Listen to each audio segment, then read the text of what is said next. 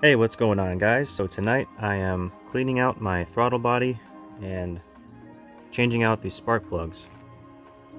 Um, so as you can see, I've already taken off the air duct. It was relatively easy to do. Um, unscrewed this clamp here, this clamp right here, use a flathead, and you got to unplug this, unplug this from here, unplug this. I believe this is the uh, electronic throttle cable whatever you call it. I actually broke the red clip thing here that locks it up. So I don't know if that's going to be permanently unlocked or if I'll be able to fix that, but probably not. Um, unplug this. I think this is like a map sensor or something. Need to get caught up on my terminology. Um, and this airbox is really difficult to get off. You have to, it kind of hooks up on this side. So you unclip those two. And then you kind of just uh, scoop it out of there. It's hard to describe. So, let's take a look. You can see this throttle body is not even closing all the way. There's so much carbon buildup. So, it's really good that I'm doing this because that cannot be good. So after I do that, then I'll be changing out the spark plugs. um, with the throttle body, looks like there's four bolts. Um, yeah, and then you got the four bolts here. So let's get started on this. Alright, so a quick update here. I have cleaned out the throttle body. Looks nice and clean. It was pretty gunked up, pretty bad, so I am very pleased with the uh, result there. And uh, spark plugs, I have done three on the driver's side already. So I am about to do the fourth one. There was a ton of dirt and debris. I really need that engine bay clean. And of course it's very important to blow out all of the debris from the spark plug hole because you don't want that stuff getting into the engine. Um, so taking out the throttle body, it's uh, four 8 millimeter bolts. I just covered that up so I don't get dirt in there. And then these fuel injectors, I think that's what you call them, or completely spacing out on what those what these are called, but the coils, coil packs. Uh, these are six millimeters, and they're pretty easy to get to on this side. Um, on the other side, I'm not too sure. I haven't done it yet, but this is my first time changing spark plugs in a Crown Vic, so it's going pretty well. Um, I'm torquing them down to 15 foot-pounds because I do not want them spitting out like a lot of people, or not a lot of people, but I don't know, it's pretty common, I guess, that uh, spark plugs can spit out. And um, with this particular car, I've been hearing a uh, ticking sound. I think it's coming from the passenger side. Um, but what I've researched is that um, that sound could be the sound of the spark plug uh, slowly backing out and causing what sounds like an exhaust leak. But I'm pretty sure I was on my way to getting one of my spark plugs being spit out. So um, it's really good that I'm changing this out right now because definitely do not want that to happen. So. And by the way, it's like 3 o'clock in the morning, so I'm super tired, but I've got to just want to get this done because I've been wanting to get it done for a long time. So, alright, making good progress, and I'll keep you updated here. I fashioned up this really long extension tube for the air compressor. And let's see, a lot of dirt.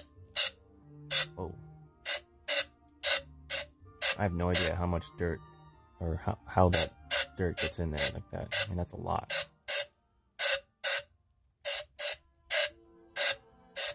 So to be extra sure that there's no debris in there.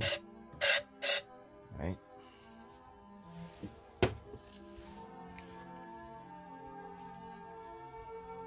So I've got my extra long eBay special socket remover my 3 8 ratchet. And I'm going in.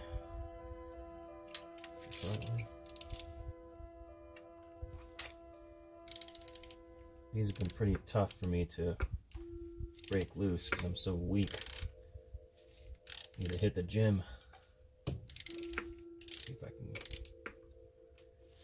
It's hard to get it seated sometimes too. Gotta fish around for it.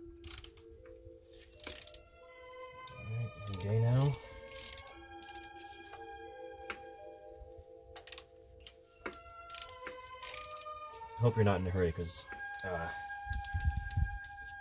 this is not going very quickly. Alright, why can I find the freaking... Of course, right when I turn the camera on, I start having trouble, right?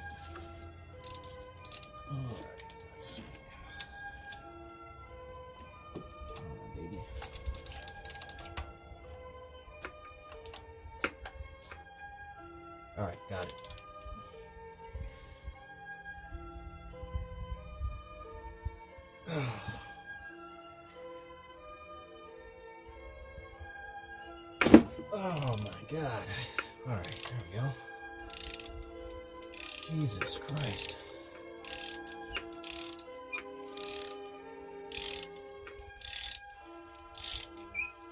It's weird because when I torque it to 15 foot pounds, it barely feels like I'm putting that much pressure, but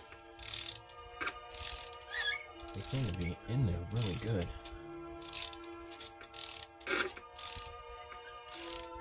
Trying to talk a little bit quiet so I don't wake up my neighbors. I'm trying to be a courteous neighbor. Alright, the rest I can just pull out by hand. I'm not going to film myself doing all eight of them because I don't want to take up your entire day watching my boring video, but maybe you learn a thing or two. This is a learning experience for me, so the only spark plugs I've ever changed were in my Honda Civic four banger. That is super easy to change those. All you do is just pop out the coil pack and boom. Bada bing, bada boom.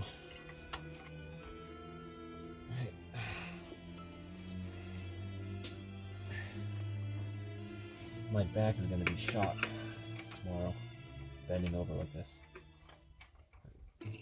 Four hours. Alright. See if I can get this on camera. Yeah, that looks to be pretty shot. Is that gonna focus? There's a lot of flashlight. It's actually good, it's helping me work. Okay.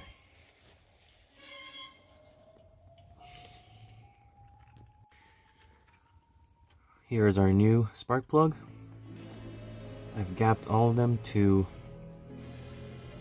what is it, 54 thousandths. Owner's manual says 52 to 56, so I just met him in the middle with 54.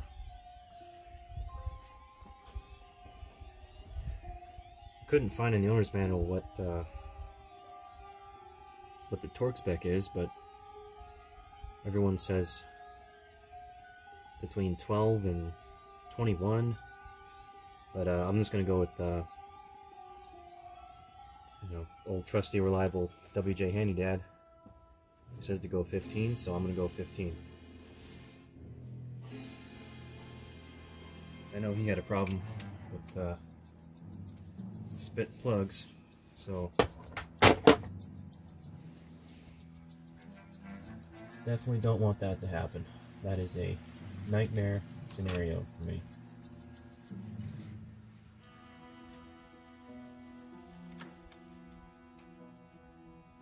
And it seems like um, you know, repairing the uh,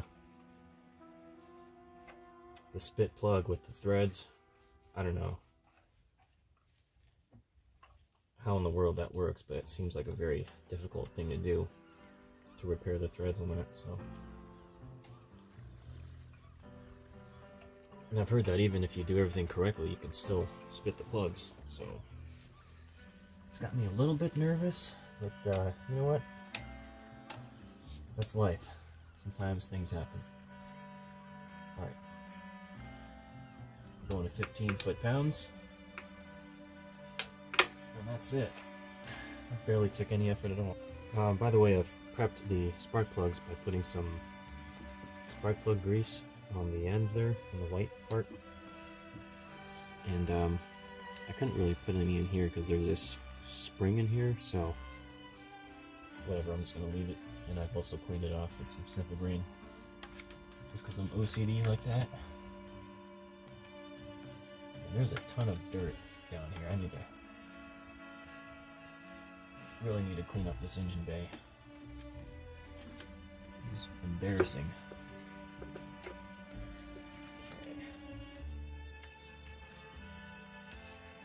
I put these coil packs in, I don't really hear like a satisfying uh, click or feeling. It just kind of goes in there. But it's it's flush, so it should be okay. Six millimeter bolt. Gotta hand tighten this.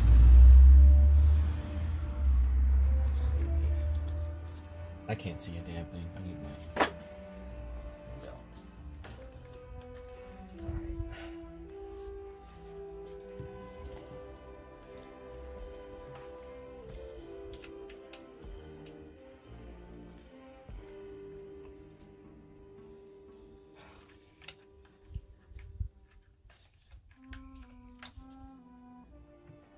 some things don't go as planned sometimes.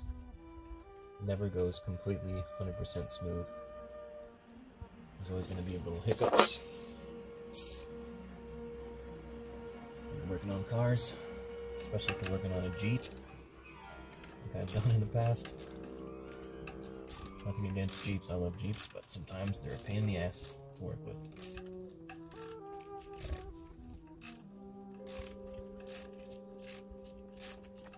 Just trying to pass the time along with my little uh, anecdotes here.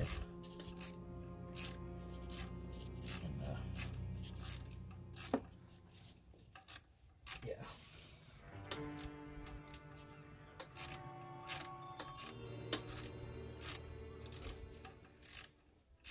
Got my handy dandy uh, quarter inch ratchet with the universal joint, which is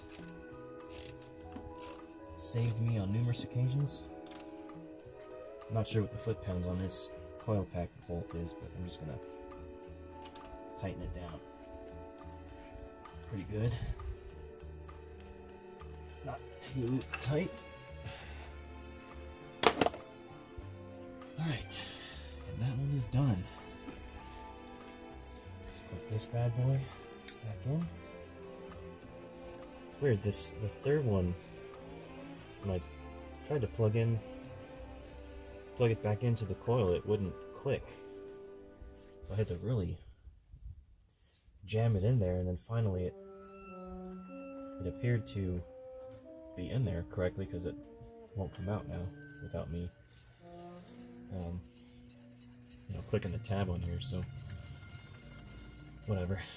Okay, so this side is done, and so I will be reinstalling the throttle body and Mr. Uh, air duct and uh, I'll be doing the other side so stay tuned if you feel inclined to do so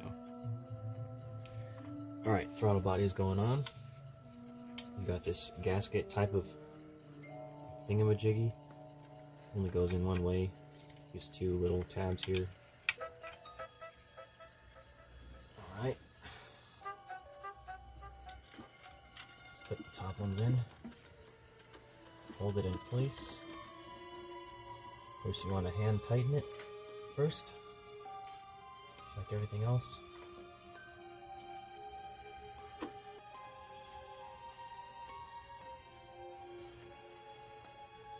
I also want to clean out this part too, but I think I'll have to take the whole thing apart here. But I really don't feel like doing that right now, so that'll have to be for another day.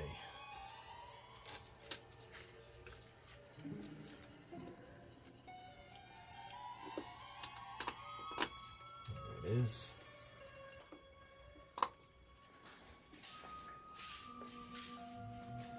Hold up a second.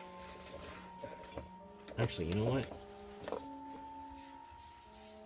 I stand corrected. The coil pack bolts are seven, seven millimeter.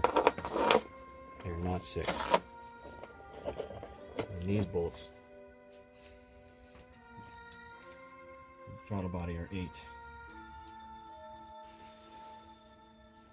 I guess this is a how-to video, but it's sort of a hangout vlog, I guess. I don't know.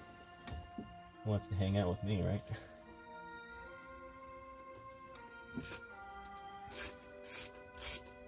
This is uh, surprisingly easy to work on this car, though. I mean, really, it's it's a joy to work on. Everything is clear and concise. And there's no uh,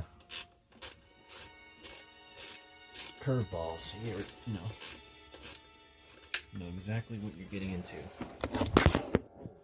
Sorry about that, guys. Oh. the camera mount is mount is a uh, magnetic. So when I grabbed the bolt, it was connected to the freaking mount.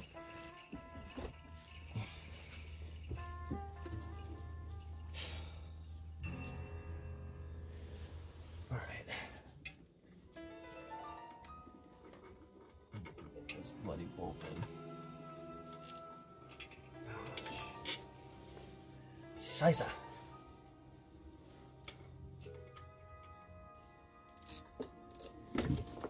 Oh god.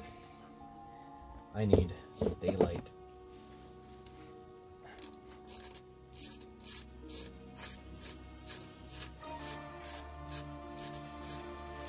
This throttle body was so dirty. I don't think it was ever cleaned.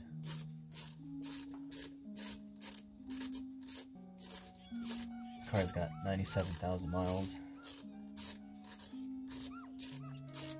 So that's probably 97,000 miles worth of carbon buildup.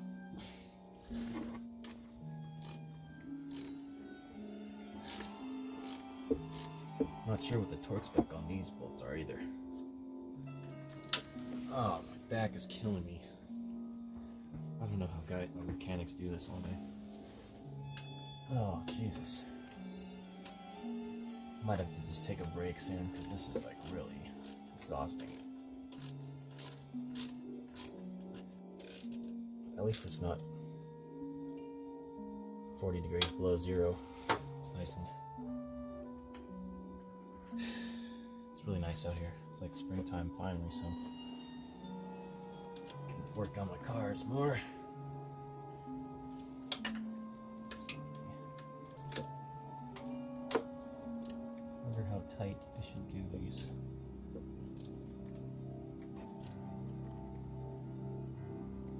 Would pretty tight. That's good enough.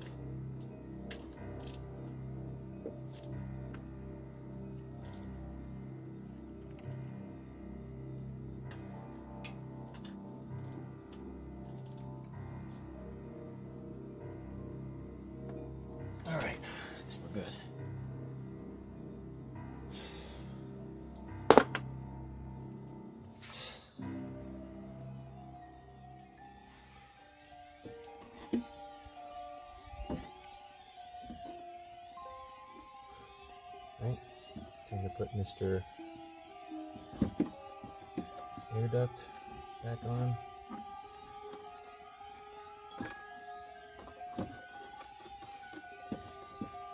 I wonder if I should put some some kind of lubricant in here next time for next time. It's like really hard to get this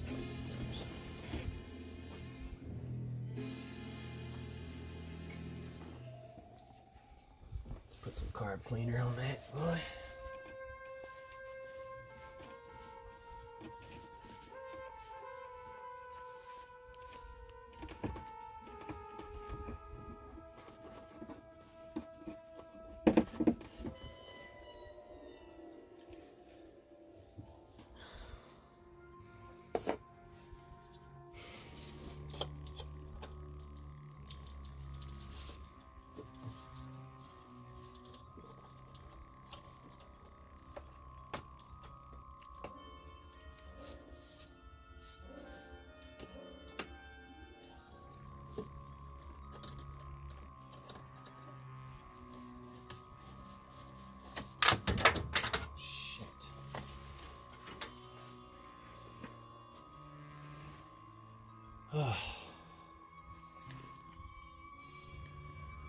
Alright, so it is day two, and last night I was able to get seven spark plugs replaced.